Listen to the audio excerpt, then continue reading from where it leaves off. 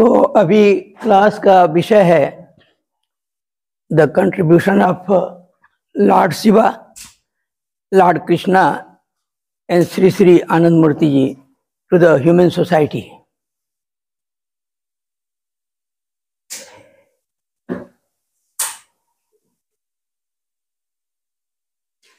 भगवान शिव, भगवान कृष्ण और भगवान आनंद मूर्ति जी ये सब तारक ब्रह्म है।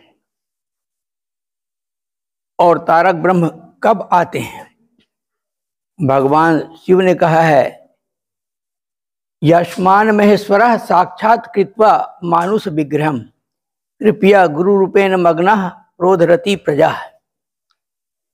जब समाज आर्तनाद करके जब उनको पुकारते हैं, अपनी रक्षा के लिए तो स्वयं भगवान को मनुष्य शरीर धारण करके आना पड़ता है।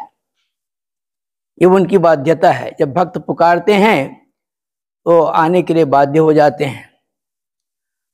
और तारक ब्रह्म क्या है? टेंजेंशियल पॉइंट है। Between nirguna and saguna. वो मेरा विषय नहीं है। क्योंकि तीनों तारक ब्रह्म थे। और एक विशिष्ट परिस्थिति में उन लोगों का प्रादुर्भाव हुआ लॉर्ड शिवा पहले तारक ब्रह्म थे,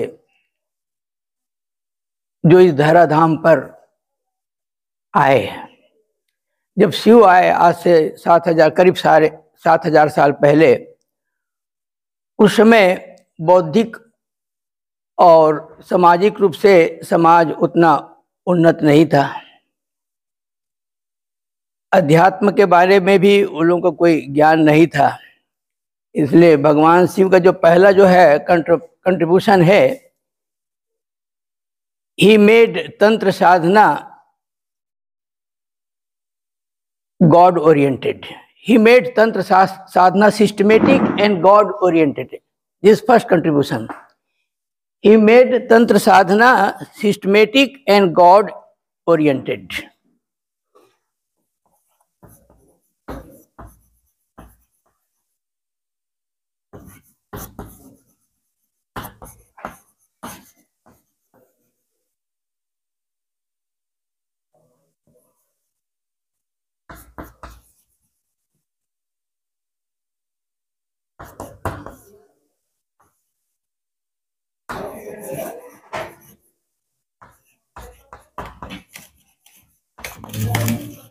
उनका पहला कंट्रीब्यूशन हुआ उस समय साधना की कोई पद्धति नहीं थी। लोग जो है प्राकृतिक पूजा करते थे या व्यक्ति विशेष की पूजा करते थे। तो इसीलिए जो है भगवान शिव ने जो है तंत्र साधना को सिस्टमेटिक रूप दिए और ईश्वराभिमुखी बनाया। दूसरा उनका कंट्रीब्यूशन है, सब greatest contribution of Lord Shiva he gave the concept of dharma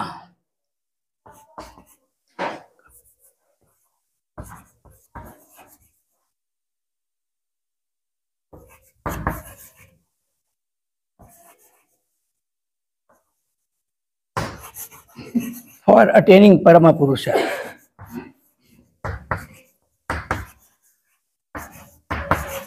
दूसरा बिगेस्ट उनका contribution he gave the concept of dharma for attaining Parama Purusha और उनकी साधना क्या थी? शिव भूतव शिवम यजेत।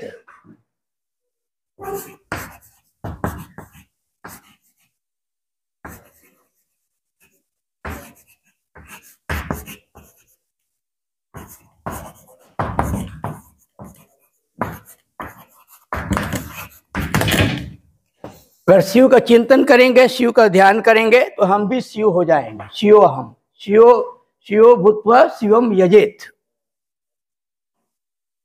शिव के ध्यान से, ब्रह्म की जो है आइडिएशन से हम भी ब्रह्म हो जाएँगे। और समाज के क्षेत्र में, उस समय समाज जो है छोटे छोटे कबीलों में विभाजित था।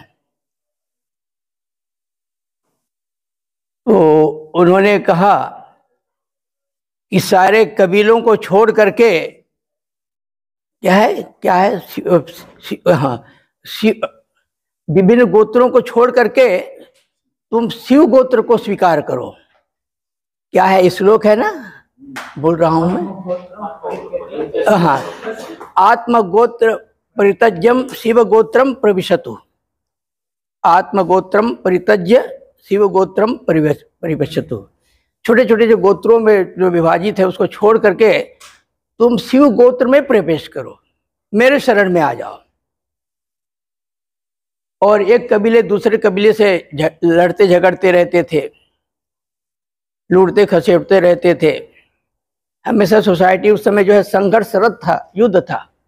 तो युद्ध को जो है कबीले के युद्ध को खत्म करने के लिए उसने कहा कि आत्मगोत्र परितज्य शिवम शिव गोत्र भविष्यतु ये तीन मेजर कंट्रीब्यूशन है। और बाबा ने तो शिव का क्या कंट्रीब्यूशन है? नमा शिव शिवा संता में बहुत डिटेल में। मानव समाज के लिए जितने भी आवश्यकता थी शिव ने दिए। सर्वप्रथम लोग है, उस समय विवाह का सिस्टम नहीं था। लोगों को सिस्टमेटिक विवाह की पद्धति दिए इसलिए शिव विवाह पद्धति अभी भी बोलते हैं। विवाह की तांत्रिक पद्धति लोग जो संगीत नहीं जानते थे, संगीत विद्या का, संगीत दिए, स्वर विद्या का जो है ज्ञान दिए, क्या नहीं दिए औषध विज्ञान दिए। जो समाज को जिन चीज़ों की ज़रूरत थी, शिव ने सभी चीज़ों के दिए। इसलिए बाबा कहे हैं कि शिव जो है, इस सभ्यता और संस्कृति के जो है आदि पिता हैं, जनक है। अभी जितने भी हम सभ्यता और संस्कृति का विकास हुआ है, सब शिव का ही देन है। इसलिए शिव जो है, आदि पिता है। मैं ज़्यादा चर्चा नहीं करूँगा, क्योंकि बाबा इतने अधिक चर्चा किए हैं नमः शिवा संताएँ में। हर एक साधकों को जो है, नमः शिवाय जो है, संताएँ ज़रूर पढ़नी चाहिए। शिव की महिमा अनंत थी। वो मनुष्यों को जो है, उसके महिमा का बखान करना बहुत डिफ़िकल्ट था। इसलिए भगवान स्वयं ही जो है आनंद मूर्ति जो है, शिव का क्या कंट्रीब्यूशन है, नमः शिवा संताय के माध्यम से बताए गए हैं समाज को। और दूसरे जो तारक ब्रह्म जो है कृष्ण आए, आज से लगभग जो है साढ़े तीन हज़ार साल पहले, जब शिव कृष्ण आए, उस समय समाज में बहुत सारे परिवर्तन हो चुका था। इसके पहले जो है सांख्य दर्शन का आगमन हो चुका था। महर्षि महर्षि कपिल सांख्य दर्शन दिए थे। लोग फिलोसफी को, दर्शन को जो है समझना शुरू कर दिए थे। इसीलिए जो है, उनका जो कंट्रीब्यूशन है मेजर कंट्रीब्यूशन जो है नॉट एंड सेल में आप सब जानते हैं। क्योंकि ज्ञान का विकास हो चुका था, लोग दर्शन को समझना शुरू कर दिए थे। तो उन्होंने जो है, पहले तो जो है, ज्ञान दिए। ये जो गीता का ज्ञान, गीता क्या है? ये तो ज्ञान ही है। और सारे जो है उसके पहले जो है, सांख्य के पहले उपनिषद भी आ चुका था। सारे उपनिषद का निचोड़ है गीता। अगर उपनिषद पढ़ जाएँगे तो आपको एट्टी परसेंट जो है, गीता में जो है, उपनिषद का जो ज्ञान मिलेगा। तो उसने ज्ञान योग दिया। In the form of the Gita. Gita ज्ञान जिसको बोलते हैं। दूसरा उसने योग साधना दिए। ऐसे योग के प्रफाउंडर है तो लॉर्ड शिवा, परंतु इसने कृष्ण जो है योग विद्या को आगे बढ़ाया। योग दिए, भक्ति दिए, भक्ति के रूप में उसने क्या दिए? प्रपत्ति।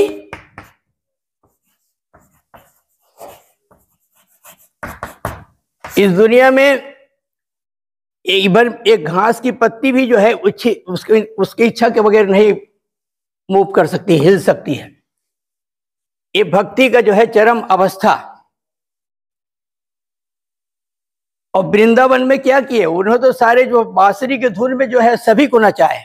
सारे विश्व ब्रह्मांड को जो है नचाते रहे, भक्ति भाव से जो है ओतप्रोत करते रहे। और चौथा उसका जो है सबसे मुख्य जोन कंट्रीब्यूशन किया था। उन्होंने जो है स्पिरिचुअल मॉरलिटी दी है।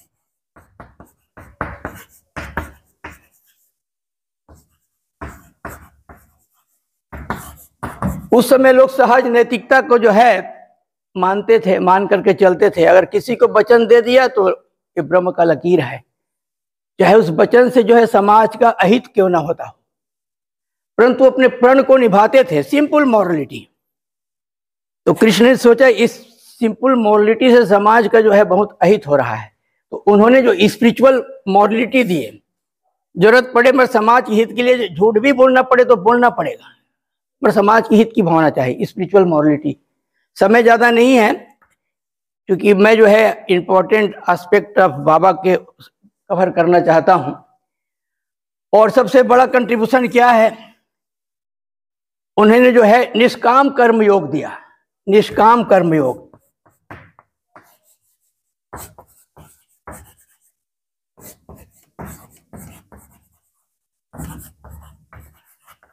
कर्म करो, परंतु फल की आशा ना करो। कर्म करेंगे, परंतु फल फल के आशा नहीं करेंगे। कर्म भी जो है परमात्मा को समर्पित करेंगे और कर्म का फल भी जो है परमात्मा को जो है समर्पित करेंगे। कर्म संन्यास, बाबा का जो कर्म संन्यास और निष्काम कर्म, दोनों में कुछ अंतर है क्योंकि समय नहीं है, उन्होंने निष्काम कर्म योग सिखाया। कर्म ब्रह्मेति, कर्म बहुकुर्वीत, कर्म ही ब्रह्म है। और हर एक कर्म का कर्म को जो है ब्रह्म का कर्म समझ करके करो। और कर्म करते करते ही जो है ब्रह्मत्व में प्रतिष्ठित हो जाओगे। निष्काम कर्म योग। और आप जानते हैं कि निष्काम कर्म योग जितना हम लोग कहते हैं मानी से कहते हैं, मगर बहुत कठिन है पालन करने में। जब तक हम भक्ति में या अध्यात्म में प्रतिष्ठित नहीं होंगे, हम निष्काम कर्म योग कर ही नहीं सकते। हर वस्तु में जो है ब्रह्म भाव का आरोपण करना पड़ेगा आरोपित करना पड़ेगा।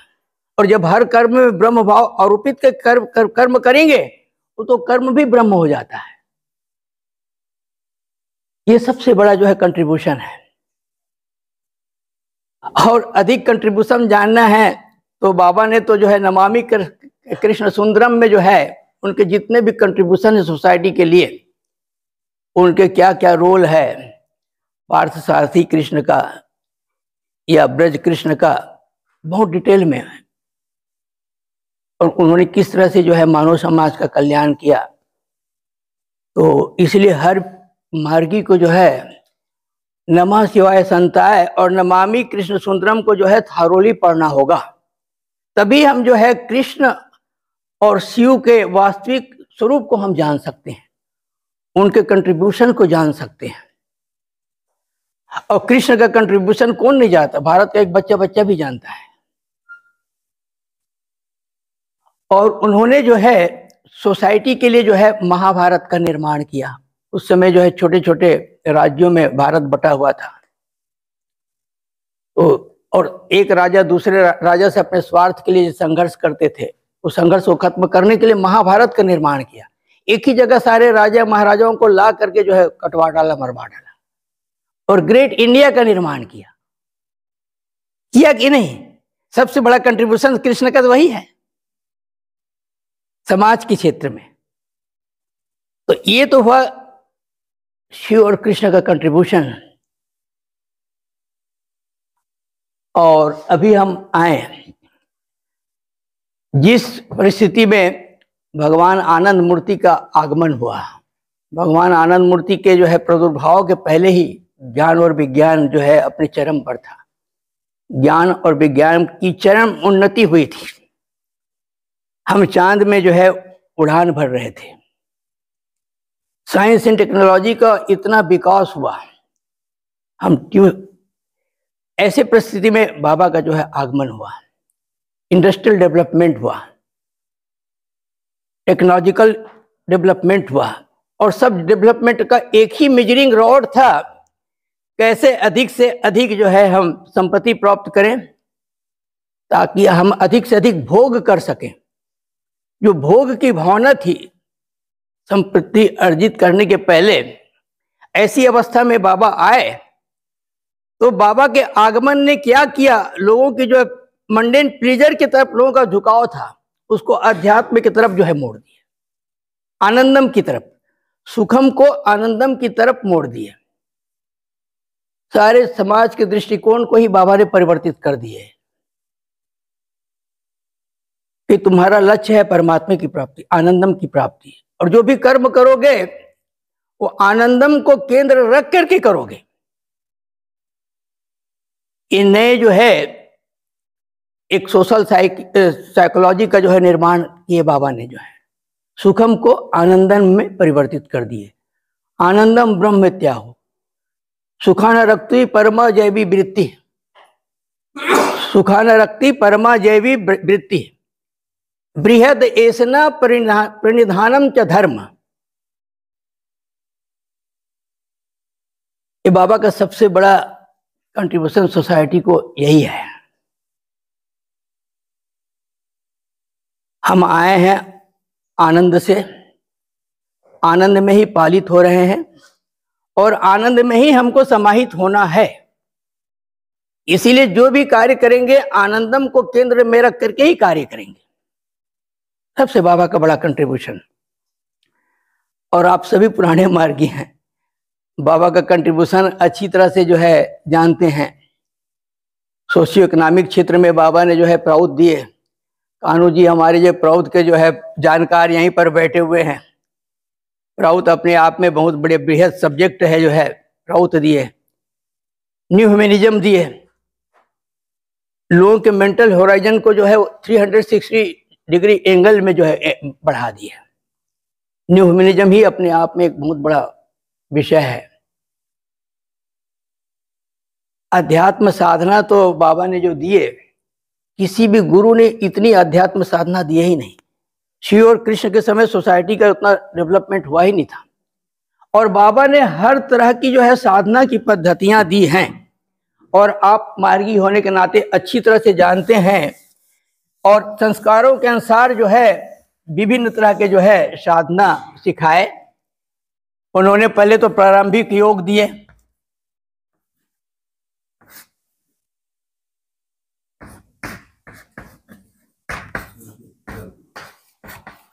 उसके बाद साधारण योग सब जानते हैं। सहज योग।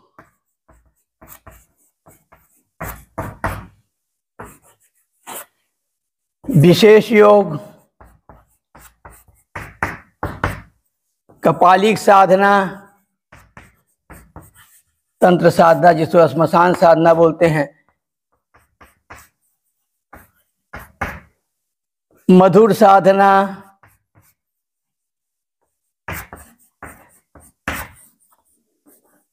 कीर्तन साधना। कीर्तन भी आवर्त कीर्तन और जो कक्षण के, वो भी तो साधना है। इससे तो मनुष्य का मन का विकास होता है। और सब लास्ट में बाबा ने क्या दिए है? माइक्रोफाइटा साधना।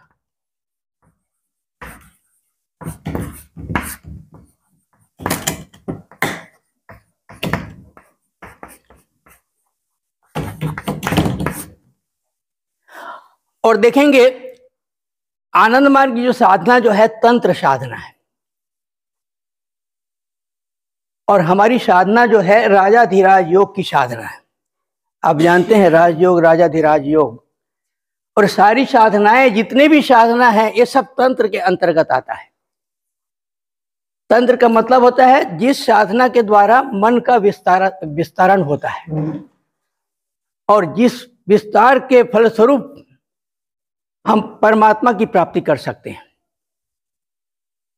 ब्रह्म का ध्यान करते करते, ब्रह्म का भाव लेते लेते हुए हम स्वयं ही ब्रह्म बन जाते हैं। ब्रह्मविद ब्रह्म ही भवती। तो असली साधना है ब्रह्म की भावना।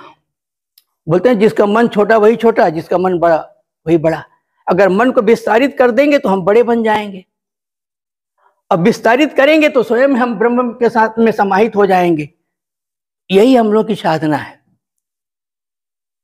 और बोलते हैं कि हम लोग जो है, हमारी साधना जो है, अभी मैंने क्या राजयोग और और क्या बोला अभी? मैं भूल गया।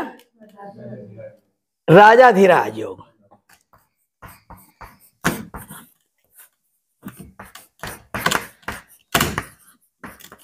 हमारी साधना है राजा धीराज योग और राजा धीराज योग साधना का उद्देश्य क्या है? हमारी जो कुल कुलनी जो दीव, जीव भाव मेरुदंड में साढ़े तीन लपेटा मार करके बैठी हुई है, उस कुल कुंडली को उठा करके जो है सहस्त्रार चक्र में मिला देना। एक कुलनी है राधा भाव, जीव भाव। जब कुलनी जो है सारे चक्रों का वेदन करते हुए जब जो है सहस्त्रार चक्र में आ जाती है तो इसी को बोलते हैं राधा और कृष्ण का मिलन जीव और शिव का मिलन। तो ये राजा धीराज योग का उद्देश्य है सुसुप्त कुल कुंडली को जगा करके उसको सहस्त्रार चक्र में मिला देना। सहस्त्रार चक्र में कुल कुंडली मिल जाती है तो मोक्ष की प्राप्ति हो जाती है। तो राजा धीराज साधना का मुख्य उद्देश्य है मोक्ष मोक्ष की प्राप्ति। हमारी साधना जो है मोक्ष की प्राप्ति के लिए। और राज योग और राजाधिराज योग में क्या अंतर है? राजाधिराज, राज योग का जो अधिक्षेत्र है दैहिक, मानसिक और सगुण आध्यात्मिक। राजयोग की साधना में क्या करते हैं? हम अपने जो है, शारीरिक तरंगों को, मानसिक तरंगों में जो है परिवर्तित करते हैं। और मानसिक तरंगों को जो है, आध्यात्मिक तरंग में, सगुण आध्यात्मिक, उससे हमको सविकल्प समाधि तो मिल सकती है। सविकल्प तक पहुँच सकते हैं राजयोग साधना के द्वारा। इसलिए राजयोग साधना का अधिक्षेत्र है दैहिक, मानसिक एवं सगुण आध्यात्मिक। परंतु जो राजा धीराज योग साधना का उद्देश्य क्या है? राजा धीरोग साधना दैहिक, मानसिक और सगुण आध्यात्मिक तो है ही, मगर उससे ऊपर जो है निर्गुणत की प्राप्ति ही जिसका उद्देश्य है। निर्विकल्प समाधि में प्रतिष्ठित होना ही जो है राजा धीराज योग साधना का उद्देश्य है। और उसके लिए जो है कुल कुलनी को जो है मूलाधार चक्र जो है सहस्त्रार चक्र में लानी पड़ेगी। तभी हम जो है निर्गुणत्व में प्रतिष्ठित हो सकते हैं। राजा धीराज योग का अधिक्षेत्र है सविकल्प समाधि। और राजा धीराज योग का अधिक्षेत्र है निर्विकल्प समाधि। मुक्ति और मोक्ष। है ना? तो आप समझ गए? और जो बाबा ने जो साधना दिए हैं, बाबा का साधना इतना बेजोड़ है।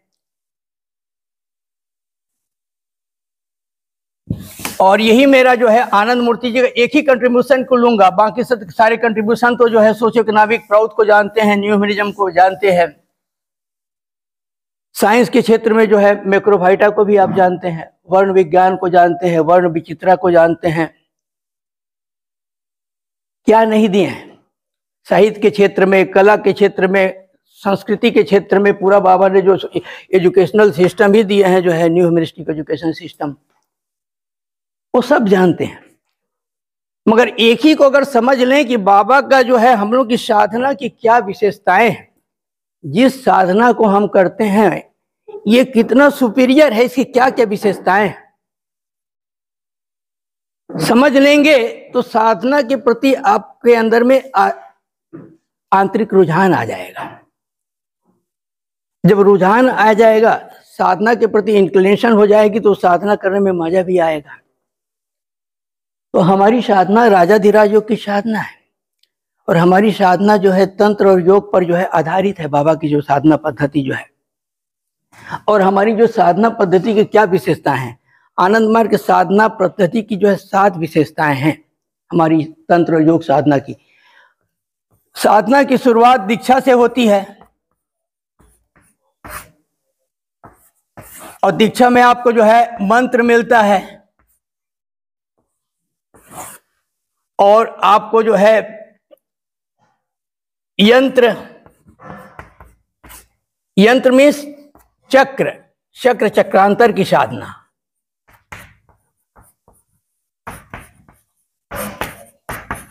अरे मैं तो हिंदी में लिख दिया। इंग्लिश में लिखना चाहिए था।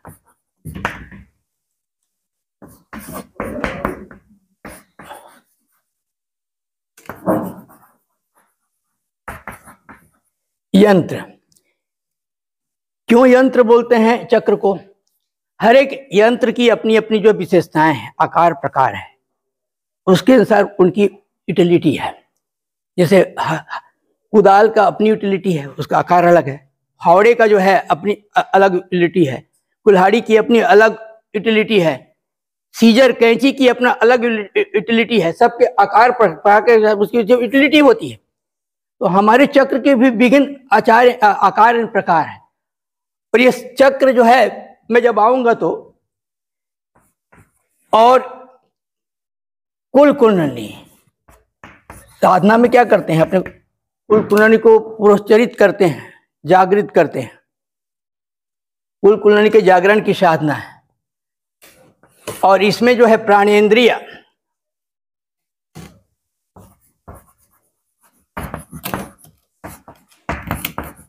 vital energy pranendriya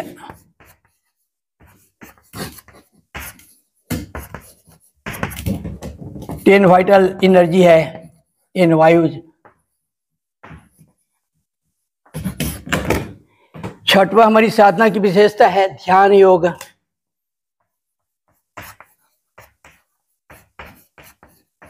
कहीं नहीं पाएँगे आपको।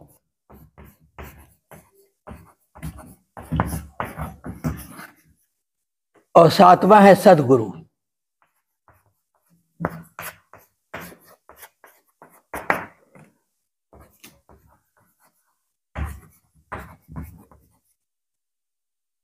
ये हमारी जो है साधना की विशेषता है, हमारे साधना के जो है सात आयाम है। सात बिंदु है। और इस पर हम जो है चर्चा करेंगे। आप सभी साधक हैं। साधक होने के नाते आपके मन में इच्छा है कि हमारी साधना कैसी अच्छी हो। हम कैसे जो है परमात्मा से मिल सकें। त्वरित गति से परमात्मा से मिल सके। इस सब के मन में जो है जिज्ञासा है। और साधना की शुरुआत तो दीक्षा से होती है। इसलिए जो है भगवान शिव भी जो है पार्वती को बोलते हैं, दीक्षा बिहने न सिद्धिर न सदगति। हे देवी पार्वती, बिना दीक्षा लिए, गुरु दीक्षा लिए आपको आध्यात्मिक सिद्धियाँ नहीं मिल सकती है, ब्रह्म की प्राप्ति नहीं हो सकती है। इसलिए ब्रह्म की प्राप्ति के लिए जो है दीक्षा आवश्यक है। मगर दीक्षा भी दो तरह की है, वैदिक और तांत्रिक। मैं शॉर्ट में जाऊँगा। मगर हमारी दीक्षा की पद्धति जो है, तांत्रिक दीक्षा की पद्धति है। प्राणवायु को प्राणेन्द्रिय मैं भी बताऊँगा ना, आप समझ। आप पॉइंट नोट कर लीजिए। हमारी दीक्षा दीप ज्ञानम यथोध्यात कुरियात कुरियात पाप क्षयम ततो। इस श्लोक को आप जानते हैं। तो दीक्षा जो है हमारी वैदिकी और तांत्रिकी। हमारी दीक्षा जो है तांत्रिकी दीक्षा की पद्धति है, ये भी आप जानते हैं। और तंत्र दीक्षा में जो है, दो प्रकार के हैं। एक तो निर्वीज दीक्षा निर्वीज दीक्षा और दूसरा सवीज दीक्षा। आप सुनते होंगे निर्वीज सवीज क्या है? निर्वीज भी जैसे कि आपको बोलते हैं आचार्य, आप यम नियम का पालन करो सिक्सटीन पॉइंट का पालन करो। ये सब थ्योरिटिकल है थ्योरिटिकल एस्पेक्ट ऑफ़ इनिशिएशन मगर सवीज दीक्षा क्या है? सवीज दीक्षा में आपको संस्कार के अनुसार आपको बीज मंत्र मिलते हैं। संस्कार के अनुसार आपको बीज मंत्र मिलेंगे। मगर सभी दीक्षा सभी दीक्षा में गुरु बिकम्स एवरीथिंग टोटल सरेंडर की ज़रूरत है। जब तक जो है संपूर्ण समर्पण नहीं होगा, गुरु दीक्षा जो है, तांत्रिकी दीक्षा जो है, असंभव है। सभी दीक्षा तो हमारी दीक्षा जो है, सभी दीक्षा है। इसमें गुरु हमको जो है संस्कार के अनुसार जो है मंत्र देते हैं। हर एक व्यक्ति का अपने अपने संस्कार है, उस संस्कार के अनुसार हमको जो है मंत्र गुरु जो देते हैं। आचार्य के माध्यम से, इसीलिए सभी दीक्षा है। और जो है, हमारी जो सभी दीक्षा के जो है, पाँच मुख्य आइटम है। आप साधना करते हैं, आपको जाननी चाहिए। जब तक ये पाँच पॉइंट्स नहीं रहेगा, वो सभी दीक्षा नहीं हो सकती। सभी दीक्षा में जो है पहला आइटम है अभिषेक। ओ, चलो मैं अंग्रेज़ी में ही लिखूँगा। हो सकता है बहुत से लोग अभिषेक। दूसरा है दक्षिणा।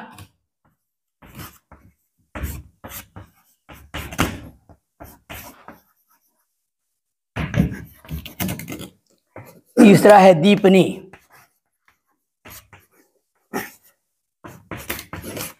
चौथा है मंत्राघात। पांचवा है मंत्र चैतन्य।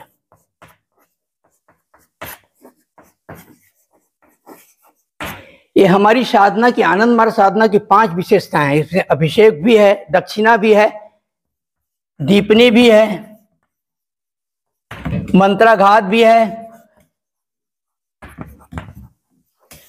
मंत्र चैतन्य भी है।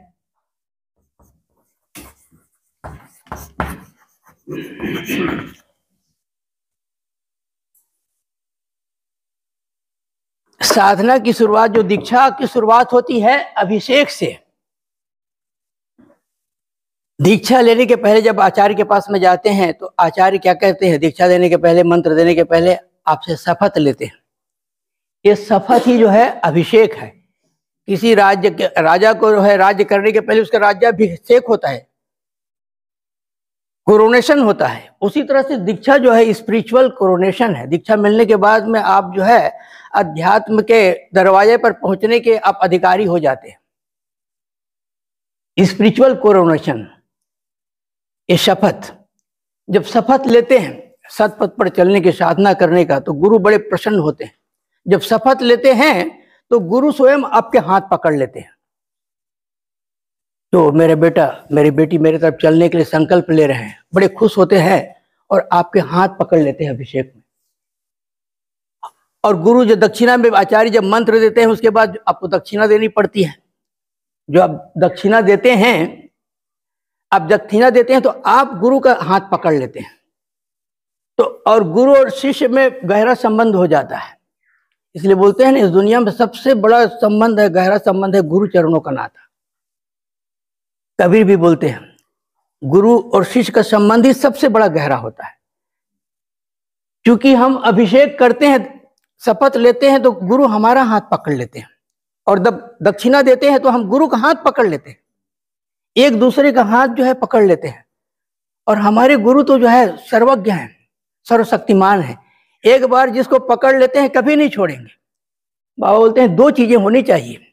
गुरु के प्रति अगर समर्पण की भावना है, थोड़ा भी उसके गुरु के प्रति प्रेम है, संस्कारों के अनुसार आप भटक भी सकते हैं, मगर गुरु जो है फिर खींच करके आपको अपने गोद में ले आते हैं। इसलिए जो है एक बार जिसको गुरु दीक्षा मिल जाती है, गुरु उसको छोड़ते नहीं यही है। और ये इसके बगैर जो साधना संभव नहीं भी एक बार की घटना मुझे याद आ रही, बाबा जब जेल में थे तो एक आचार्य ने जो है जेल में एक बड़े खूंखार कैदी को साधना सिखाया। बहुत दिन से वो चाहते थे, आचार्य जी मुझे साधना सिखा दीजिए। तो वहाँ तो बैरक में रहते थे ना, वहाँ तो एकांत प्लेस मिलता नहीं था। एक घंटा टहलने का समय मिलता था तो किसी गाछ के नीचे जाकर के जो वृक्ष के नीचे में साधना सिखा दिया। तो साधना तो सब किया तो सिखा दिया। जब दक्षिणा देने की नौबत आई तो जो है वो, जो पगली घंटी के बच गई। और जेल में जो गए थे, जानते पगली घंटी बजी मतलब आपको जिस अवस्था में हो, दौड़ करके जो है, बैरक में जाना पड़ेगा। नहीं जाओगे तो पुलिस खूब डंडे से मारते तो पगली घंटी बजी तो आचार्य जी और जो दीक्षा ले रहे थे दिशार्थी सब दौड़ करके जो है चले गए। बड़े खुश थे। बाबा को बोले, बाबा, आज तो मैंने एक अमुक व्यक्ति को मैंने साधना सिखाया, हार्ड एंड क्रिमिनल को। बाबा बोले मगर मुझे तो तुम्हारी दक्षिणा तो मिली नहीं। मुझे तो दक्षिणा मिली नहीं तो तुम्हारा जो है साधना तो सफल हुआ नहीं। बिना दक्षिणा का साधना सफल नहीं हो मानी जाती है। तो जल्दी जल्दी में दक्षिणा का नौबत आया, पगली घंटी में भूल गए। फिर दूसरे दिन उसको जो है दक्षिणा देनी पड़ी। तो इसलिए अभिषेक और दक्षिणा का जो है, ये तांत्रिक दीक्षा में ही है। दीपनी। दीपनी में आपको जो है ज्ञान का प्रकाश मिल जाता है। उस दीपक के माध्यम से जो है अंधकार को चीरते हुए अपने लक्ष्य पर पहुँच सकते हैं। अंधकार रात्रि में भी जो है। तो ये दीपनी क्या है? ये आपके जो तीनों लेसन हैं शुद्धियाँ हैं, भू शुद्धि, आसन शुद्धि, चित्त शुद्धि, ये शुद्धियाँ ही तो दीपनी है। ये जो है आपको टॉर्च लाइट है। ये आपको जो है अपने लक्ष्य की ओर जो है ले ले जाती है। इसलिए जो है साधना में शुद्धियों का बहुत बड़ा महत्व है। बाबा बोलते थे ना देखो आधा घंटा साधना करते हो तो अगर 25 मिनट तुम समय शुद्धियों पर दो। शुद्धियाँ अगर ठीक होगी तो एक मिनट का साधना ही तो आपको जो है आप, आपको आपके मन प्राण को जो है झनकृत कर देगा भाव विभोर कर देगा। मंत्राघात। ये मंत्राघात क्या है? आप सभी करते हैं। मैं प्रैक्टिकली बता रहा हूँ सिस्टमेटिक आचार्य आपको बताए होंगे, साधना में बैठ करके पहले जो है अस्सी बार मंत्र का जाप करो। अस्सी बार जब भाव के साथ मंत्र का जाप करते हैं, उससे कुंडली की गति पुरस्चरित होती है। उसकी गति जो है, अग्रगामी होती है। मंत्राघात से जो है, सोई हुई कुल जो है, जग जाती है। तो अस्सी बार जो मंत्र का जाप करते हैं, वही जो है मंत्राघात है। क्योंकि कुलरनी को जगाने के लिए जो है तीन विधा है, और मंत्र चैतन्य। मंत्र मंत्राघात से कुल कुंडली तो सोई हुई है, जग गई और मंत्र चैतन्य में क्या होती है? जब जग जाती है, और भाव से, भाव पूरा पूरी अगर साधना करते हैं तो कुंडली जो है मूलाधार चक्र को छोड़ करके विभिन्न चक्रों को पार करते हुए सहस्त्रार चक्र की ओर दौड़ चलती है। तो सहस्त्रार चक्र की तरफ़ जो गति है कुल कुंडली का, उसी को बोलते हैं मंत्र चैतन्य। यह मंत्र का जब जाप करते हैं पूरे भाव के साथ में, भाव के साथ में जब मंत्र का जाप करते हैं तो मंत्र चैतन्य हो उठता है। और चैतन्य मंत्र से जो है कुंडली जो है, अपने निवास स्थान, मूलाधार को छोड़ करके सहस्त्रार चक्र में चली जाती है। और मंत्र चैतन्य, जहाँ जीव जब शिव में मिलन हो गया तो वही तो मोक्ष है ना? जीव का शिव में मिलन। राधा का जो है, कृष्ण में जो है मिलन। तो हमारी जो है, ये सात, पाँच, हमारी दीक्षा की पाँच विशेषताएँ हैं। Every marga should know because you are practicing ये है आपका, हमारी दक्षिणा की विशेषता। इसमें जो पाँच चीज़ें हैं आपको, अभिषेक है, दक्षिणा है, दीपनी है, मंत्र चेतन है मंत्राघात। और कुंडली की गति कैसे पुरस्चरित होती है? बाबा बोले कुंडली कुंडली उड़ती है तीन तरीके थे से। क्योंकि साधना विज्ञान है कुंडली को उठाने के लिए तीन तरीके हैं। To arouse kulakundalini there are three ways first है मंत्राघात कुंडली को।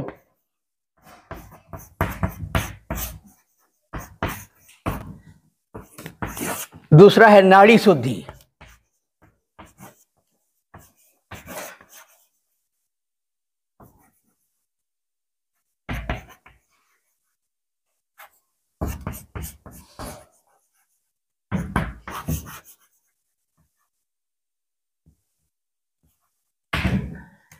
तीसरा है भावाकर्षण।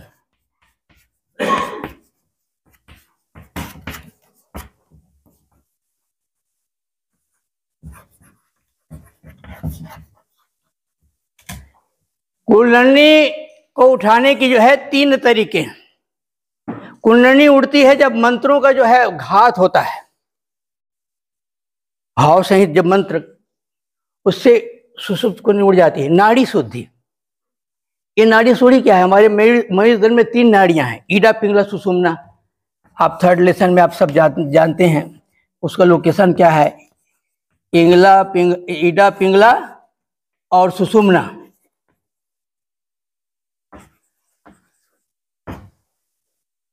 ईडा, पिंगला, सुसुमना। और जब ईडा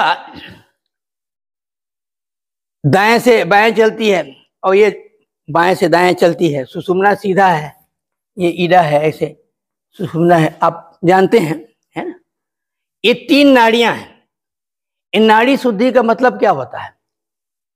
ये जो सुषुम्ना पर जो है ईडा और पिंगला का जहाँ पर मिलन होता है, वहीं पर चक्र है। जंक्शन में ही ना चक्र है, चक्र बने हुए हैं।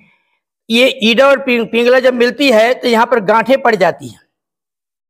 तो नाड़ी शुद्धि का मतलब जो ये सुमना पर जो ईडा और पिंगला का जो है गांठे पड़ गई है, उसको खोलना। नाड़ी शुद्धि मतलब सुषुम्ना कांड को जो है एक्सपेंड करना। एक्सपेंड नहीं होगी तो इन, मान लीजिए आप आएगी स्वाधिष्ठान चक्र में, यहाँ पर गांठे हैं तो ऊपर तो उठ नहीं पाएगी ना? इसलिए सुषुम्ना कांड को जो है एक्सपेंड करना पड़ेगा। तो नाड़ी शुद्धि ऑटोमेटिक नाड़ी शुद्धि क्या है? सुषुम्ना कांड को जो है एक्सपेंड करना। और इसी के लिए आपको जो है third lesson fourth lesson fifth lesson प्राणायाम वगैरह जितने हैं सब जो है, ये सुसुमना पर जो ईडा और पिंगला का जो गांठ पड़ी है उसको खोलने के लिए। तो ऑटोमेटिक नाड़ी शुद्धि है जब साधना के द्वारा, चक्र चक्र, क्योंकि ये, यही जो है आध्यात्मिक ऊर्जा के जो है आपके नाड़ी ही जो ये विभिन्न चक्र जो है, आध्यात्मिक ऊर्जा के संचालक भी है, धारक भी है। और जब साधना करते हैं स्पिरिचुअल ऊर्जा जो है इसी चक्रों के द्वारा जो है पास होती है। इसे एक्सपेंड होगी तो पैसेज क्लियर मिलेगा, धड़धड़ा करके जो है सहस्त्रार चक्र में पहुँच जाएगी। यही है नाड़ी शुद्धि। नाड़ी शुद्धि मतलब सुषुम्ना कांड को एक्सपेंड कर देना, ताकि सुषुम्ना के रास्ते को जो है क्लियर कर देना को, कुंडली को आगे बढ़ने के लिए। यह है नाड़ी शुद्धि।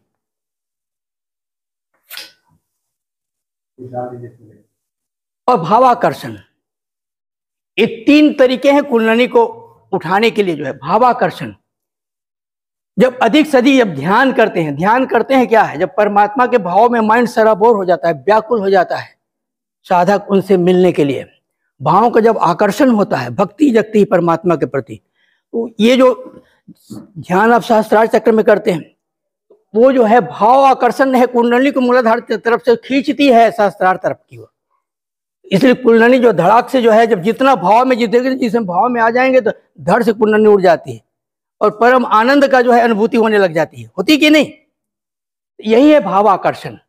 तो कुंडली को उठने के लिए तीन जो है तरीके हैं। मंत्राघात, नाड़ी शुद्धि। नाड़ी शुद्धि के लिए ये third lesson fourth lesson fifth lesson सबको ठीक से करनी पड़ी, आसन। क्योंकि चक्र और चक्रांतर, जब तक नाड़ियाँ जो है वाइब्रेट नहीं होगी तो सुषुम्ना कांड एक्सपेंड नहीं होगा। तो आपको भाव नहीं आएगा, भक्ति भाव का सृजन नहीं होगा आपके अंदर में। यह है हमारी साधना की पद्धति। और मैंने कहा, हमारी साधना के क्या है? अब हम आगे बढ़े। अभी तो मैंने दीक्षा पर ही प्रकाश डाला ना। मंत्र। सेकंड है आइटम हमारी मंत्र की क्या स्पेशलिटी है? अब प्रश्न उठता है जब बहुत सारे तारक ब्रह्मा है, बहुत सारे बड़े बड़े साधु महात्मा है, कई तरह के मंत्र दिए। तो बाबा, आनंद मूर्ति को स्पेशल मंत्र देने की क्या ज़रूरत है? आनंद मार्ग मंत्र की, इस मंत्र की क्या विशेषता है? हमारी मंत्र की विशेषता है जो इम्प्रशनल एंटिटी को जो है पर्सनल एंटिटी में परिवर्तित कर देना। To transform impersonal entity into the personal entity is the speciality of Ananda Marga मंत्र लोग बोलते हैं ना, परमात्मा जो है सातवें आसमान के देवता है। जो सातवें आसमान के देवता है, उसको अपने घर का देवता बना लेना। उसको अपने हृदय कमल में विराजित कर लेना। वो हमारे घर के देवता हो जाते हैं, हमारे सुख दुख के सहभागी हो जाते हैं। सातवें आसमान की देवता तो हमारे फीलिंग को समझ नहीं पाएँगे ना। मगर हमारे घर के देवता है, हमारे सुख दुख को समझते हैं। हमारे दुख से दुखी होते हैं, हमारे सुख से सुखी होते हैं। हमको वैसे पर्सनल गॉड की ज़रूरत है। तो ईस्ट मंत्र में वो शक्ति है जो इम्पर्सनल गॉड है, निर्गुण ब्रह्म है, उसको तारक ब्रह्म में परिवर्तित कर देते हैं इष्ट देव के रूप में जो है परिवर्तित कर देते हैं। ये हमारी मंत्र की जो है विशेषता है।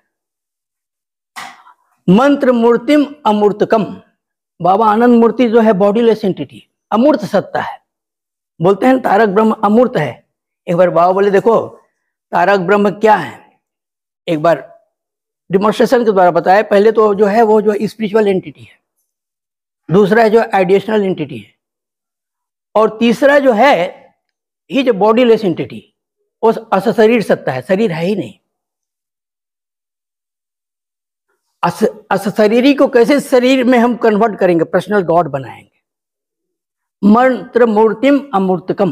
ही जे अमूर्त बॉडीलेस मगर मंत्र वो उनकी मूर्ति है। मंत्र के भाव में जो है वो चले आते हैं। मंत्र के द्वारा जो है उसको पर्सनलाइज कर सकते हैं। और इसके पर्सनलाइजेशन के लिए क्या है? जब तक संस्कार के अनुसार इष्ट मंत्र नहीं मिलेगा, वो पर्सनल इम्पर्सनल गॉड पर्सनल नहीं हो सकते हैं। और आनंद मार्ग इष्ट मंत्र में शक्ति है जो कि पर्सनल गॉड को इम्पर्सनल गॉड को पर्सनल गॉड बना देते हैं। साथ में आसमान के देवता को आपके घर के देवता जो है बना लेते हैं। एक उदाहरण लोग हम लोग देते हैं ना, बहुत बड़े उपन्यासकार थे बंकिम चंद्र चटर्जी। अविवाहित थे। ओल्ड एज में अपने बड़ी बहन के यहाँ रहते थे। गंगा के किनारे जो है, भागलपुर में जो है। और हमेशा उपन्यास लेखन में बिज़ी रहते थे। बहुत अच्छे राइटर थे, आप सब जानते हैं बंकिम। एक बार खाने का समय हो गया था, उसकी छोटी पोती थी। बुलाए थे, बाबा, आसुन, खावर जन्ने आसुन। बाबा, आसुन, खावर जन्ने आसुन। बड़ी प्यार से बिटिया बुला रही है। जवाब नहीं दे रहे हैं। उनकी बड़ी बहन डांटती है अरे बिटिया बुला रही है खाने के लिए तुम जवाब क्यों नहीं देते हो? भले दीदी ये बिटिया जो पुकार रही थी आवाज़ बड़ा मधुर लग रहा था। बार बार सुनने की इच्छा हो रही थी। अगर मैं आवाज़ देती तो, तो पुकारना वो बंद कर देती। इसलिए वे चुपचाप था ताकि वो पुकारते रहे। तो Baba is very much impersonal very much personal. जब हम उनको पुकारते हैं, उसको आनंद मिलता है। हम लोग भी बाबा नाम जब जपते हैं तो हमको भी आनंद मिलता है। इस तरह से जो है इम्प्रेशनल एंट्री जो है पर्सनलाइज हो जाता है। मंत्र के माध्यम से जो है। बाबा का भाव लेते लेते हम स्वयं ही बाबा बन जाते हैं। और यही आनंद मार्ग के मंत्र की जो है, विशेषता है। इम्प्रेशनल एंटिटी को जो है पर्सनल एंटिटी में परिवर्तित कर देना। निर्व्यक्तिक सत्ता को व्यक्तिक सत्ता में परिवर्तित कर देना। ऐसी साधना की पद्धति जो कहीं नहीं है। और यही जो है आनंद मार्ग की जो है, मंत्र की जो है विशेषता है। और तीसरी बात है, आनंद मार्ग की जो मंत्र में जो है, वो सिर्फ़ अपने लिए नहीं है। इसका सोशियो साइकिक इम्प्लीकेशन भी है। हम जब दीक्षा लेते हैं तो आप ओथ लेते हैं, मैं दुनिया की सेवा करूँगा। और ये सारे मानव समाज के अपने भाई बहन के रूप में मानूँगा। सारे जीव जंतु को प्यार करूँगा। तो आपका मेंटल होराइजन तो जो बढ़ जाता है, आप जो है कमिटेड हो जाते हैं पूरे मानवता की सेवा, मानवता ही क्या, पूरे जो है जड़ चेतन की सेवा के लिए। तो आपको जड़ चेतन में ही जो परमात्मा दिखाई देने लगता है। ये जो है आनंद मार्ग मंत्र की विशेषता है, जो कहीं नहीं मिलेगा, जो कि इम्प्रेशनल एंटिटी को पर्सनल एंटिटी में परिवर्तित कर देता है। तो हमारे जो है, भगवान जो है सातवें आसमान के देवता नहीं है। वे हमारे हृदय कमल में विराजमान है। वो हमारे आनंद नगर में आनंद मूर्ति विराजमान है। यही तो आनंद नगर है, शरीर जो है। आनंद मूर्ति जो है, सहस्त्रार चक्र में जो है, विराजमान है। तो समझ गए? अब आइए चक्र चक्र, यंत्र। चक्रों को ही यंत्र बोलते हैं। डिफरेंट इसके कलर है शेप्स है, इसलिए डिफरेंट चक्रों का डिफरेंट यूटिलिटी है। और ये चक्र ही हमारी जो आध्यात्मिक ऊर्जा के धारक भी है, वाहक भी है। इसीलिए पहले जो है जब भावों का सृजन होता है तो चक्रों में ही होता है। चक्र जब इनर्जाइज होता है वाइब्रेट होता है तो हमारा माइंड भी वाइब्रेट होता है। होता है कि नहीं? इसलिए और चक्र का लोकेशन तो मैंने पहले बता दिया है। ईडा और पिंगला के ऊपर सुषुम्ना में ये लोकेशन सुषुम्ना का जो है, ब्रह्मानी नाड़ी में। कुल कुंडली के ऊपर तीन चित्तानी, ब्रह्माणी नाड़ी है। तो ब्रह्माणी नाड़ी के अंदर में जो है ये अवस्थित है, हमारी जो है, चक्र जो है।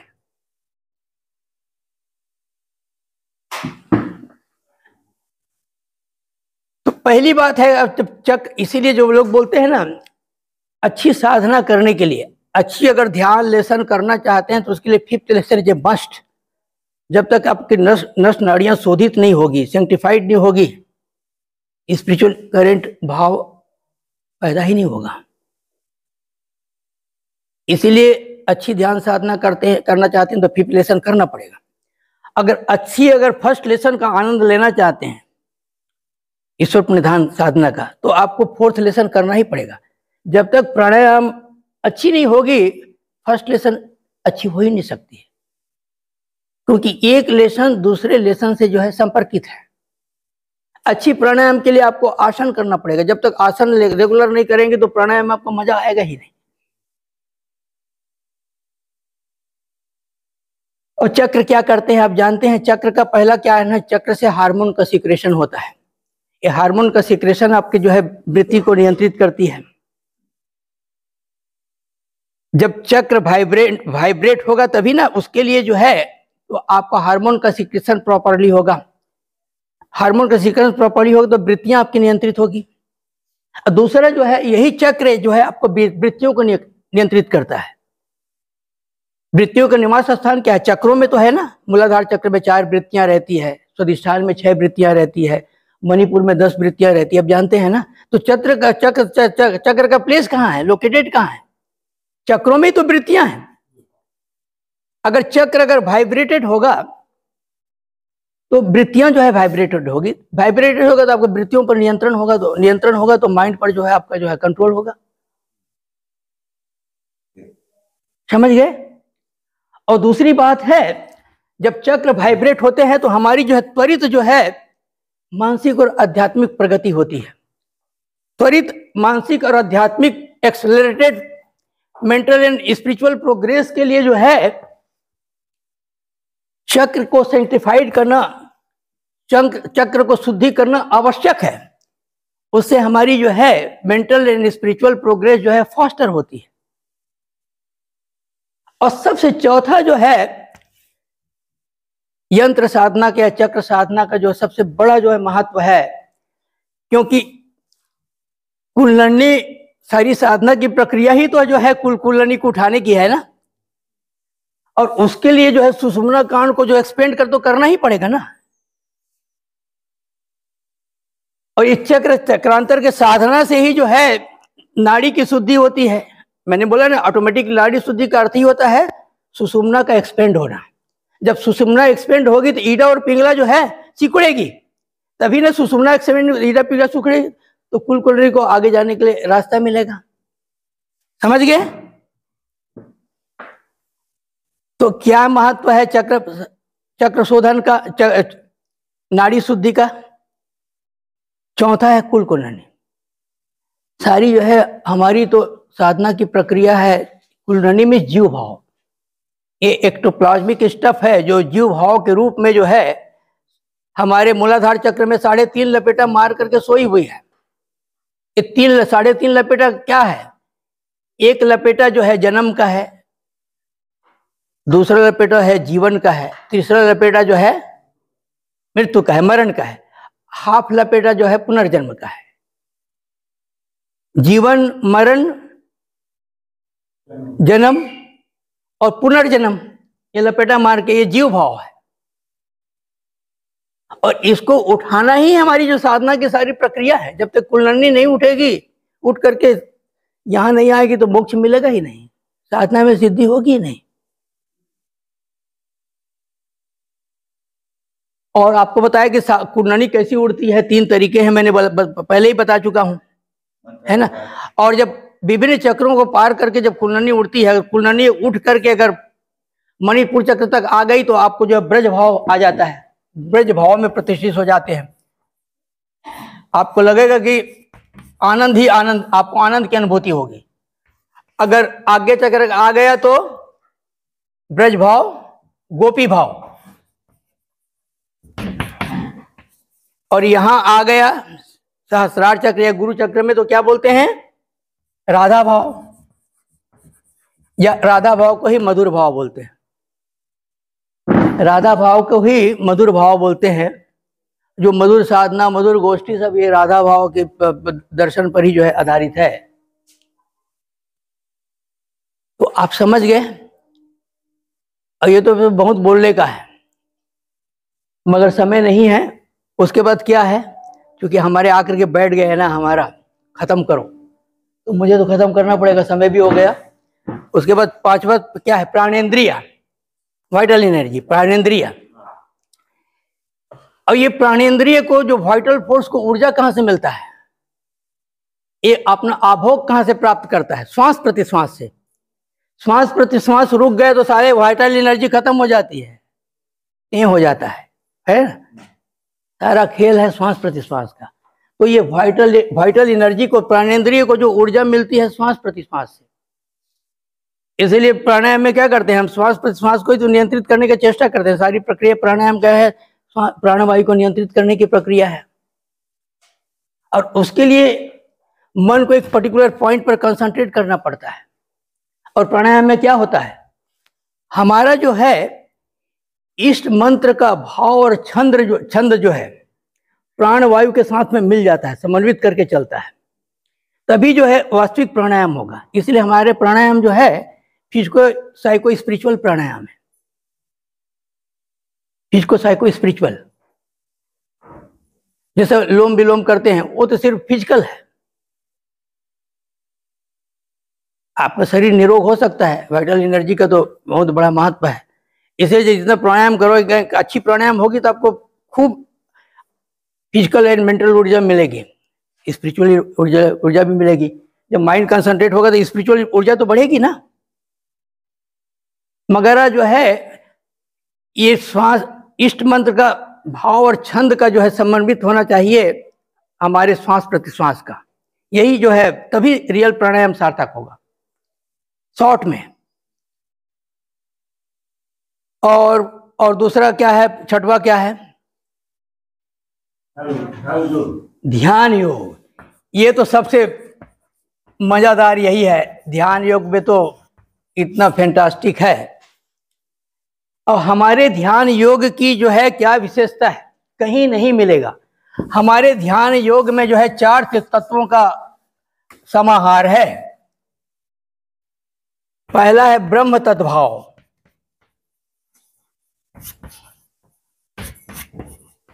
ब्रह्म तत्भाव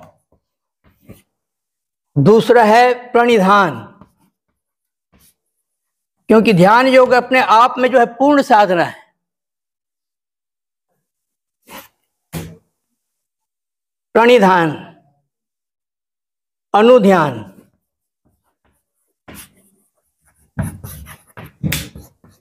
योजनात्। जब ये चीज़ों का समन्वय नहीं होगा तो ध्यान योग में सिद्धि नहीं होगी। ब्रह्म तत्भाव ब्रह्म और उसका भाव। हमेशा मन में रहनी चाहिए ब्रह्म और उनका भाव। प्रणिधान। जैसे फ़र्स्ट लेसन में करते हैं माइंड हज़ार दिशाओं में बिखरी हुई है। वो बिखरी भी जो माइंड को, वृत्तियों को बिखेर करके एक पॉइंट में लाते हैं। पॉइंटेड करते हैं उसको। उस पॉइंट को जो है फिर अपने इष्ट की ओर चला देते हैं। प्रणिधान। अनुध्यान तो ध्यान में सारे क्रिया, क्रिया क्रियाओं का समाधान है। ब्रह्म तद्भाव भी है प्रणिधान भी है और अनुध्यान है। उस कंसंट्रेटेड माइंड को जो है आप अपने चरम लक्ष्य की ओर बढ़ा देते हैं इष्ट की ओर बढ़ा देते हैं। अनुध्यान आप इष्ट जो है पकड़ाना नहीं चाहता है। आप उसको पकड़ने के लिए मानसिक रूप से दौड़ रहे हैं वो भाग रहा है दौड़ रहे हैं। और उसको पकड़ने के क्रम में एक ऐसा समय आता है कि अपने आप को आप भूल जाते हैं। जो आस विस्मृति के जो क्षण है, वही है आराधना, वही है राधा भाव। जब परमात्मा के दौड़ने के क्रम में अपने को ही भूल जाते हैं, हम स्वयं ही जो है अपने को भूल जाते हैं। तो राधा क्या करती थी? वो कृष्ण के ध्यान में अपने को खो जाती है, अपना अस्तित्व खो देती थी। वो स्वयं कृष्णमयी हो जाती थी। और कृष्ण भी जो राधा में हो जाते थे। प्यार तो एक तरफा नहीं होता है ना। जब आप उसको प्यार करोगे तो आपको प्यार करने के बाध्य हो जाएगा। जीव जितना प्यार करेगा, शिव को भी इतना ही प्यार जीव को करना पड़ेगा। वाइस वर्षा है। लव इज़ रिसिप्रोकल प्यार कभी एक तरफा नहीं हो सकता है। ये अनुध्यान। हम उसको पकड़ने के लिए दौड़ते हैं। दौड़ने के क्रम में अपने को खो जाते हैं। वही है राधा भाव।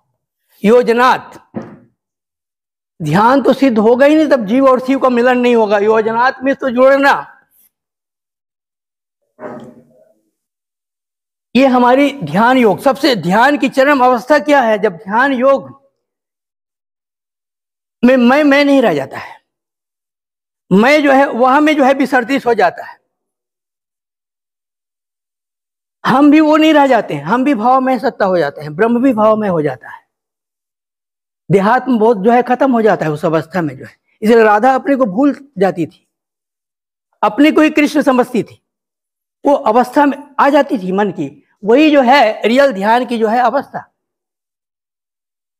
और बाबा ने इतना अच्छा एग्ज़ाम्पल दिया है, ध्यान योग में जो है, जो बच्चे और माँ का जो प्रेम। देखते हो ना? माँ छोटे से बच्चे को जो है गोद में बिठा गुदगुदी लेती है, चुम्बन करती है। सीने से लगा लेती है। मगर बच्चा तो अबोध है, मर देख रहा है मुझे, माँ कितना प्यार कर रहा है। बच्चा जो है, अंदर मन से खूब खुश होता है। जब शिव जीव को प्यार करते हैं तो जीव बहुत खुश होता है। जब उसको आलिंगन बद्ध करते हैं, चुंबन लेते हैं, गुदगुदी करते हैं, यही तो ध्यान है।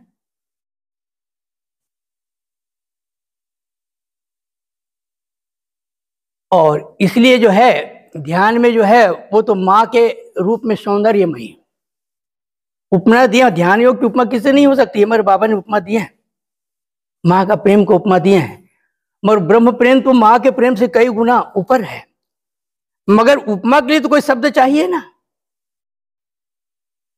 और इसी से बच्चा इतना अट्रैक्टेड हो जाता है माँ के प्रेम से, सानिध्य से। और उसमें जो है, मधुर भाव का जो है, प्रादुर्भाव होता है। जहाँ मधुर भाव आया तो जीव का शिव में मिलन हो जाता है। और चौथा क्या अंत में क्या है? सदगुरु। सदगुरु। तो जो है सारे चीज़ का सार ही है। मैं एक ही शब्द कहूँगा क्योंकि बहुत तरह की साधना के बारे में बताया। बाबा के कृपा से मुझे मैक्रोफाइटा साधना मिली है। और यही कहूँगा मैक्रोफाइटा का साधना का सार है, गुरु का चरण ही सब कुछ है। अध्यात्म जगत में आपको जो भी मिलना है, गुरु की कृपा से ही मिलेगी, गुरु की चरण की कृपा से ही मिलेगी। इसलिए भक्त साधक क्या करते हैं? अपने ध्यान, ज्ञान, सब कुछ गुरु के चरणों पर जो है समर्पित करके उसके इशारे पर नाचने के लिए तत्पर रहते हैं। और यही जो है मैक्रोफाइटा साधना की सार है कि गुरु का चरण ही सब कुछ है। जो कुछ अध्यात्म जगत में मिलना है, गुरु के चरण की कृपा से ही मिलेगी। इसीलिए जो है, गुरु के ऊपर जो समर्पण, और जहाँ समर्पण हो गया तो मोक्ष जो है कर्तलवत हो जाता है। मैं एक छोटा सा एग्ज़ाम्पल के साथ मैं अपने विषय को जो है, समाप्त करता हूँ। आध्यात्मिक जगत में जो है, गुरु के प्रति अटल विश्वास, श्रद्धा और समर्पण। ये तीन चीज़ें जो है, मुख्य बातें हैं। मुझे घटना याद आ रही, जब बाबा जब जो है, बांकीपुर सेंट्रल जेल में रहते थे तो बाबा चूँकि उच्च श्रेणी के कैदी थे तो उनको एक सेवक मिला हुआ था। बाबा का मालिश करने के लिए, कपड़ा धोने के लिए, उसको खिलाने के लिए जो पनिया बोलते हैं, वो कैदी को ही जो है, जेल प्रशासन नियुक्त करते हैं। तो बाबा के को, को एक कैदी मिले वो पाँच मर्डर किए थे। सजा भोग रहे थे आजीवन। तो बाबा का सेवा करते करते उसको अनुभूति भी कर बाबा तो स्वयं ही भगवान शिव और कृष्ण है। और बाबा के प्रति इतना प्रेम हो गया जैसे भगवान से भक्त का प्रेम होता है खूब भक्ति भाव से बाबा का सेवा करते थे। बाबा भी उसको बहुत प्यार करते थे। दोनों में हँसी मज़ाक खूब होता था। शिवा तो एक दिन बाबा बोलते हैं, अच्छे मूड में थे। अरे, राम चीज़ नाम था। अरे, राम चीज़, इस समय तुम मरोगे तो तुम्हारी क्या गति होगी? तुम कहा, क्या होगा? बोले, बाबा, इस समय मैं मरूँगा तो मुझे स्वर्ग जाऊँगा। मोक्ष की प्राप्ति होगी। तो बाबा बोलते अरे, तू पाँच मर्डर करके आए हुए हो। हत्या करके तुमको मोक्ष कैसे मिलेगा? बोले, बाबा, जो तीन साल से मैं जो है शिव और कृष्ण का सेवा कर रहा हूँ, भगवान का तो मेरे तो सारे पाप धुल गए। इसलिए मैं मरूँगा तो मुझे मोक्ष पाने से कोई नहीं रोक सकता है। इतने अटल विश्वास बाबा इतने खुश हुए, तुरंत उनको दीक्षा दिए सारे नियम को तोड़ करके। और दीक्षा के बाद उसको शिव और कृष्ण की अनुभूति हुई। तो यह है समर्पण। अगर समर्पण के भाव है, अटल विश्वास है तो गुरु प्रसन्न होते हैं। अरे गुरु के को प्रसन्न क्या है? कोई हम प्रसन्न कर सकते हैं क्या? वो तो कृपा करके प्रसन्न हो जाते हैं। कुछ ना कुछ बहाना चाहिए उनको। कोई ब्रह्म कमल ला करके दिया, खुश हो गए?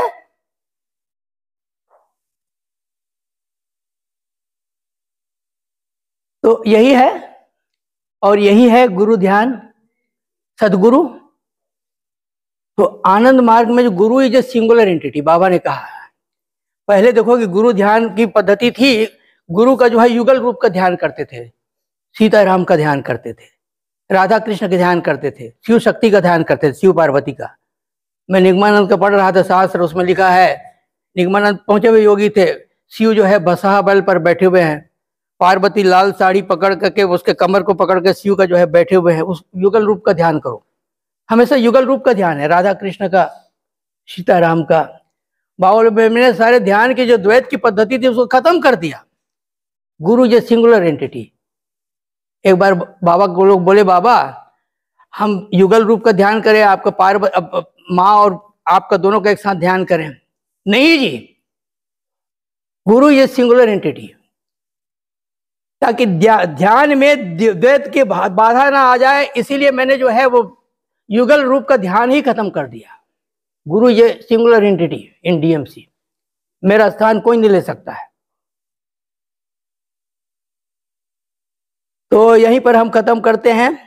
ये तो समय का अभाव है, समय तो पालन कर तो पर भी बहुत समय ले लिया। नमस्कार।